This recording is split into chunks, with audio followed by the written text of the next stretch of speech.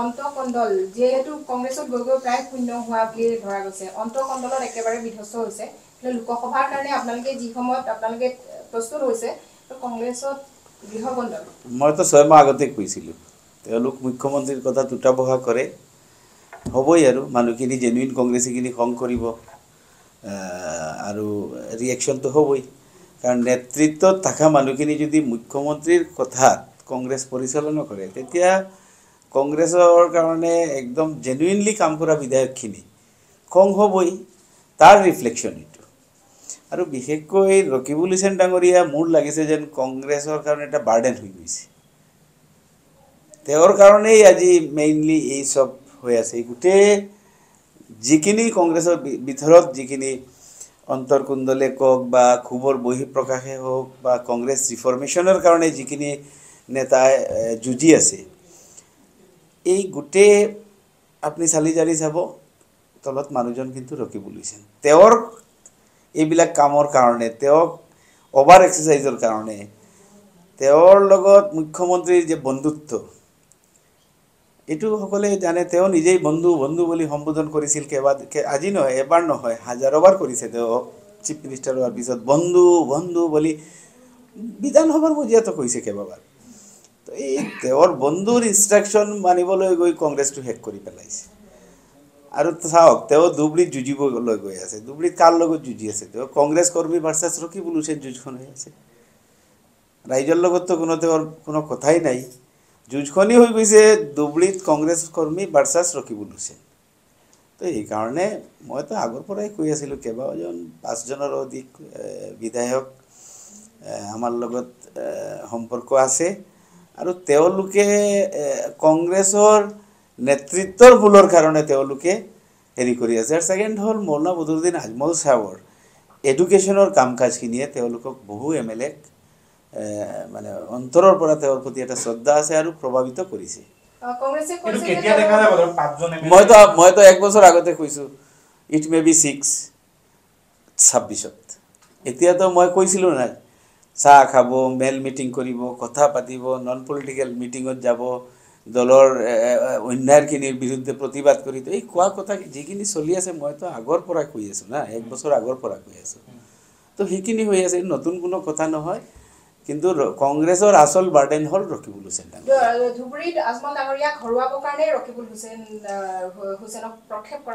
সেইটোতো সেইটোতো তেওঁলোকে ক'ব মই কি ক'ম? ক'ত ৰাইজৰ ওচৰত যাবলৈ তেওঁ টাইম পাব। তেওঁৰ কৰ্মীখিনিৰ লগত যুঁজি যুঁজিয়ে টাইম গুচি যাব ইলেকশ্যনৰ আজি ভূপেন বৰাই ক'লে যে দলৰ নীতি উলংঘা কৰা দলৰ কিবা। দলৰ কিবা নীতি আছে নেকি?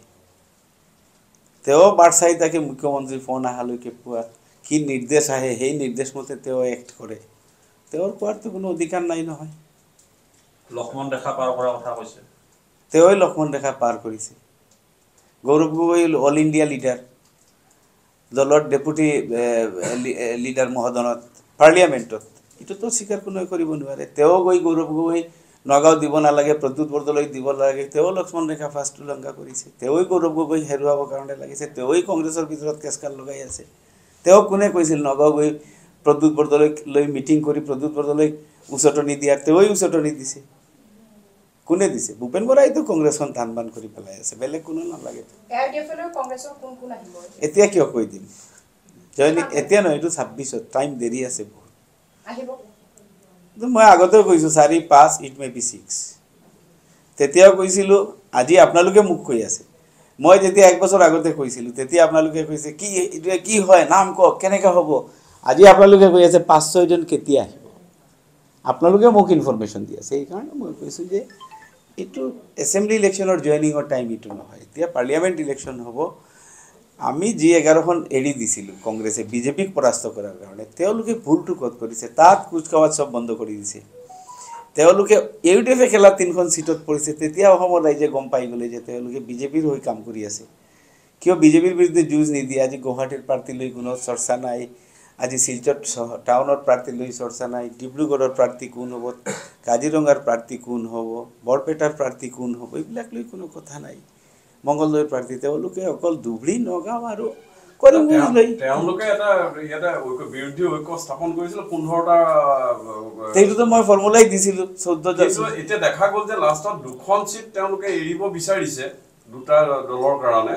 বাকী চ- বাৰখনত তেওঁলোকে এতিয়া কেনেকে থাকিব এইটো? কিন্তু এই এতিয়া আপেও নিজাকে ঘোষণা এইবিলাকতো কৰিলে, এইবিলাকতো নিজেও মই কৰিলে। আগতে কৈছিলোঁ নহয় মই এটা ফৰ্মুলা দিছিলোঁ যে এই ফৰ্মুলা নামানিলেই গঠবন্ধনটো নাথাকিব। মই কৈছিলোঁ এটা পাৰ্টি আৰু অজিত ভূঞাৰ পাৰ্টিত মেম্বাৰ এজন প্ৰেচিডেণ্ট ছেক্ৰেটাৰী বুথলৈকে এজন তেওঁক বাদ দিয়ক। তেওঁ আছেও এম পি বাকী চৈধ্যটা পাৰ্টীয়ে চৈধ্যখন ভাগাই ল'লে হ'লহেঁতেন তেতিয়া ঐক্যবদ্ধ হ'লহেঁতেন। সেইটোও নকৰিলে। সেইকাৰণেতো ভাগ ভাগ হৈ গ'ল এতিয়া। এতিয়া ভাল ধুবুৰীত থকা সংখ্যালঘু কোন কেইগৰাকী আপোনালোকৰ সৈতে আছে? ধুবুৰীত গোটেই ৰাইজ মৰণা বদৰুদ্দিন আজমল চাবৰ লগত আছে। বিধায়ক- বিধায়ক কোন কেইগৰাকী আছে বিধায়ক চবতো এতিয়াও কংগ্ৰেছৰ বিধায়ক আছে।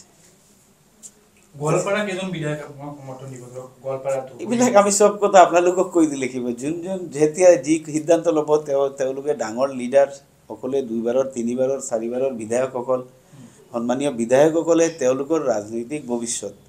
আচলতে কি হয় জনগণে যেতিয়া তেওঁলোকেতো গ্ৰাছৰুটৰ জনতাৰ লগত ৰিলেশ্যন আছে বুলি দুইবাৰ তিনিবাৰ জিকি আহিছে পাব্লিক যিফালে যাব তেওঁলোকে সেইফালে যাব। এটা কথা মোক ক্লিয়াৰ কৰি কওকচোন যে লোকসভা নিৰ্বাচনত বদৰুদ্দিন আজমল ধুবুৰী প্ৰাৰ্থী হোৱাটো নিশ্চিত। কিন্তু যদিহে ৰকিবুল হুছেইন প্ৰাৰ্থী হয় তেতিয়াহ'লে কংগ্ৰেছৰ বিধায়কে আজমল ডাঙৰীয়াক সমৰ্থন ৰাইজে।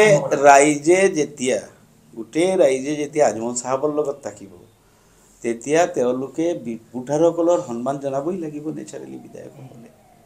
কাৰণ অসমৰ ভিতৰত কংগ্ৰেছ প্ৰাৰ্থীৰ মাজত আটাইতকৈ কম ভোট পাব ৰকিবুল হুছেইন ডাঙৰীয়াই। যিমান য'ত খেলিব কংগ্ৰেছ প্ৰাৰ্থী হাৰাটোতো হাৰা চবতকৈ কম ভোট পোৱা মানুহজন হ'ব ৰকিবুল হুছেইন ডাঙৰীয়া। কাৰণ? তেওঁৰ কাৰণে ইমান খুব কংগ্ৰেছ ৱাৰ্কাৰখিনিয়ে মানি ল'ব নোৱাৰে কংগ্ৰেছ লিডাৰশ্বিপে মানি কংগ্ৰেছৰ এক প্ৰকাৰ বাৰ্ডেন হৈ গৈছে। ৰাইজে কংগ্ৰেছৰ বাৰ্ডেনটো তেওঁলোকে কিয় সন্মান কৰিব নহয় জানো? সমৰ্থন দিয়াৰ কথাটো কওকচোন মানে আজমল ডাঙৰীয়াক সমৰ্থন দিব কংগ্ৰেছৰ বিধায়কে ৰাইজে সমৰ্থন দিব। লোকসভা নিৰ্বাচনত লোকসভা সমৰ একেবাৰে ৰাইজ দুবলেৰ গোটেই ৰাইজ লগে থাকিব তাত কংগ্ৰেছ ৱাৰ্কাৰ কৰ্মী পাব্লিক কংগ্ৰেছৰ ভোটাৰখিনিও মৌলা বদৰুদ্দিন আজমল চাহাবৰ লগত থাকিব।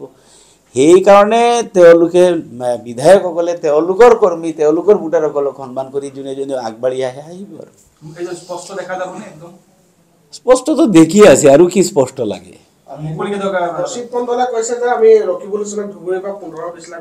তেওঁ কৈছে বিছ লাখ পাব ৰকিবুল হুছেইন ডাঙৰীয়াই আৰু পাঁচ লাখ পাব মৌলা বদৰুদ্দিন তেওঁৰ কথাটো হয় কটাক্ষ কৰি কৈছে মই গম পাইছোঁ উল্টাটোৱে কৈছে বেলেগ ৰিজাল্ট এইটোৱেই হ'ব।